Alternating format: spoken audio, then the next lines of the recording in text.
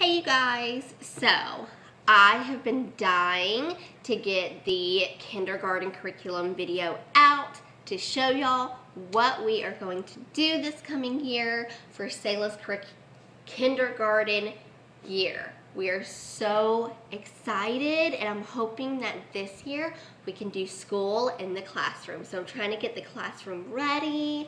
Um, but first off, I just wanted to say hi. Welcome to anybody who's new and welcome to everybody who's back watching us again. My name's Claudette. I have a four and a half year old. She'll be five in October. I also have a one year old who will be two in September. And I'm not doing too much yet with my um, son. He is still learning to talk, still learning about objects. So I may do a toddler time video with him um, just because we are really working hard on like setting the foundation with him. But this is mainly for my daughter. My daughter is four and a half, but she's very clever, so don't think this is like an overwhelming thing for her um, because it does look like a lot of stuff. But this is 180 days worth of um, curriculum for my daughter. She's very quick. She's very clever. She catches on very quickly. So morning, let's go ahead and start. Hey. Okay, so I'm so ready to just dive into this. It was just exciting. It was Selah's very first year of homeschooling. I think she um, enjoyed it. Did you enjoy it, Selah? Yeah. Come over here. Come over here so they can see you. Did you enjoy your your pre-K year with Mama? Yeah. Are you excited for kindergarten? New this was my new Fox one. Yep, your new Fox one. So we would always start our homeschool day with handwriting. Um, we started pre-littles, um, doodles and pre-writing with the good and the beautiful. And Selah really enjoyed this. Like she was tracing and coloring and she loves the mazes that are in here. They're very interactive, um, very game-like or like word puzzle-like. So she really enjoyed that. Then we would read um, from our Indescribable book. This, even though there's only a hundred, it lasted us the entire year. We did one devotion for each day, and then um, we stopped it during the holidays. We did like a Christmas unit. We also did an Easter unit. Um, so that took up the majority of the other 80 days. Um, so this was perfect. We really loved, I loved it. I want to get the, I want to get the second book um, by Louie Giglio. I want to say it's called Everything About My World or something world related, but Indescribable was awesome. We enjoyed it. Um, so many great facts. A lot of things I didn't even know in here. And I love how he related science to the Bible and biblical um, stories and biblical facts to science. Um, so I just, I love, I love the concept that he had with that. I wish that there was more than just the two books. Um, I need to look and see if there's more that we can use. And I feel like because that could um, be used with an older age range, um, that we may in a couple years, once my son is older, flip back to the indescribable book and go through it again. So I'm so excited um, that we were able to do that. That was so fun. Okay, then we would do, um, I tried to do some kind of history, geography, social studies. Um, it's not required at this age, but I did want to find something that would kind of work. And so we that just kind of helped um, explain the world. And actually, I meant to pull it. There is another book that we read. It's called All About Me and My World, and that was a good one too. Okay, I had to go get my munchkin. He woke up from a nap. So, but what I was saying was I really think we enjoyed the, the DK workbooks. And this was the pre-K geography one. We, we did that one semester. And then uh-oh, you okay? And then for language arts, we did the pre-K course book through The Good and the Beautiful. We really enjoyed um, The Good and the Beautiful. Um, I just, it covers letters and sounds, vowels, numbers, colors, motor skills, sorting, matching, and rhyming. And they just do such a great job with their curriculum. Um, Jenny Phillips, she does a great job. And you can just tell my daughter enjoyed doing it. and then as our science curriculum, for the first semester, we did safety. Again, through the good and the beautiful. It was a safety unit. Um, we did lots of field trips. We went and visited um, like the fire station and did a whole bunch of activities that came along with this. It was so good. We enjoyed this. I'm keeping this because I want to do um, the safety curriculum with both of the kids, especially when Selah's a little bit older, when he's about Selah's age um, now and then maybe again when he's a little bit older. So I definitely enjoyed that. That was a really good one. Now, for math, we did Level K um, by Master Books. I honestly could not get my hands on the um, Level K math um, curriculum through the Good and the Beautiful um, because it was out. So I, I can hear my chickens and my ducks outside. I hope they're behaving themselves. The big chickens keep picking on the baby chickens. Anyways, um, I couldn't get my hands on the Good and the Beautiful math, and so I ended up getting master books after watching um, one of the YouTube mamas that I watch, um, homeschooling mamas, use it and thought, I actually think it was Angela Braniff. Um, she kind of bounced back and forth between The Good and the Beautiful and Master Books. And I said, oh my goodness, I'm going to have to try it just for a year. It might not be the same. We loved it. We loved the idea of the story. It talks about two kids, Charlotte and Charlie. Um, it's very interactive. It relates. I loved it. Selah, she flew through it. She flew through it.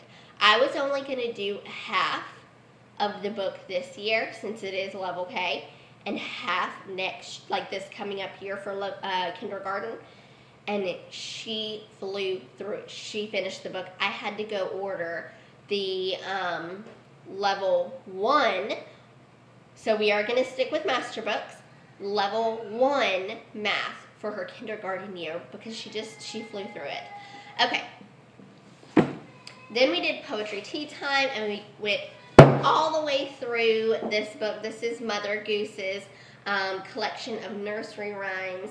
And we also did a whole bunch of other books for the Poetry Tea Time um, that were theme related. Valentine's Day had Valentine's um, books. St. Patrick's Day had St. Patrick's books, day books, and things like that. So um, we went through this as well as a whole bunch of different theme books that I just did not feel like pulling each individual one out. Um, but we love and enjoy Poetry Tea Time. I just have a very hard time doing it every week. So I think I'm going to try and alternate it between library and field trips and experiments this coming um, school year. And I will show you kind of how I have the kindergarten curriculum, not kindergarten curriculum, kindergarten schedule, routine, rhythm um, typed out because I just kind of wanted not necessarily time related, but like just the flow of, okay, we go from here to here to here to here. And I think I'm going to do Poetry Tea Time once a month.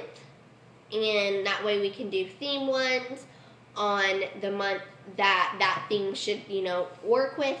Or um, if there's not really a holiday that month, we'll just do um, some poems from um, somewhere I'll find.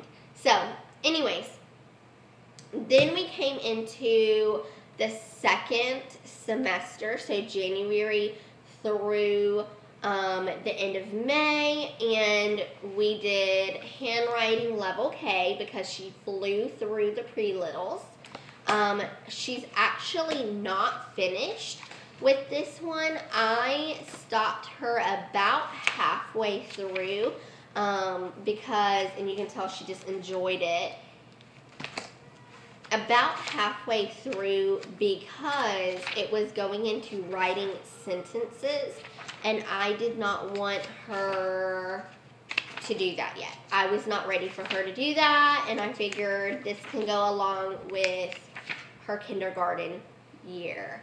Um, so right towards the end, it was doing like sentences and more numbers and more patterns, um, drawing arrows, and she went through, I didn't realize she did that. She went through and she did all of the mazes through the entire book. Even though she wasn't tracing letters and everything, she was like draw, you know, go through the mazes. She loves that. I need to find her a book. If y'all have any recommendations, just a workbook that's just all mazes. That's what she loves. She loves all mazes or connect the dots.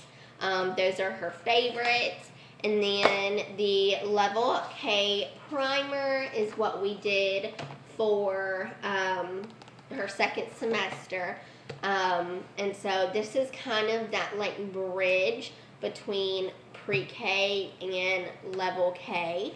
Um, and I think it was the best thing we ever did. I really was going to let her do pre-K through the entire year and then do this through the summer. Um, we ended up taking a summer break because she finished it all. She flew through her math, math she flew through pre-K. She flew through level K primer. She's ready to go straight into level K, but I was not ready. So we've got a couple more weeks, but that's what we did.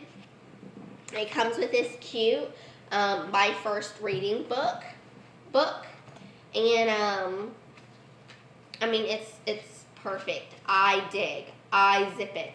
I mix it. It's a perfect first book, and the, these pictures, man, they are awesome. I love them. Okay, so along with doing our indescribable book, this is something um, my daughter got for Christmas that she is still doing through the summer, and it is the gratitude journal. Um, it's this cute little journal that talks about being thankful, what you're thankful for, um, the person that brought you joy today. I feel what was the best part about your day, and I love that at the very top you can do, go through the days of the week with them, um, write it out, and circle the little face on whether they're happy, they're sad, and whatnot. This past semester, um, that the second semester, um, after we finished the DK workbooks, we jumped into ABC Mouse's People and Places workbook. This is for ages 3 to 8. There is definitely a whole bunch that Selah could do. There was a couple that I skipped because it was very, um, it was not age appropriate for my daughter. Um, like writing stories. Now there was times when I would say, okay, this is what you they want you to draw. Now tell me a story and i'll write it. But like interviewing questions to ask a family member about beliefs and value and traditions i just kind of held off. We mainly did occupations. We mainly did like the search and finds in here. And um, um, being able to write and draw a story based off of a picture so that was fun. We finished that. And then the second semester we did arthropods as our science unit. So I have to be fast because my battery is dying. So what I was saying was the arthropods unit is a unit that we were using for science um, the second semester. We did not finish this unit. Um, we went through the first couple of lessons. Okay, so my camera died, so I just wanted to go ahead and end this vlog. I was letting you know about the arthropods. We're going to finish that up um, this coming year, um, probably the first semester, and then go into mammals. I will talk about that more in the um, kindergarten curriculum video. Um, but thank you for being patient with me on this video. All of the kids were wanting to talk and hang out, and that's okay, um, and wake up. But I was hoping I could give y'all all of the information. I will link all of the text below. it's just been a day. It's been a long day, hasn't it, buddy? Okay, if you enjoy videos like this, make sure to give us a big thumbs up. Make sure to subscribe and share. And yeah, we love y'all. All right, bye.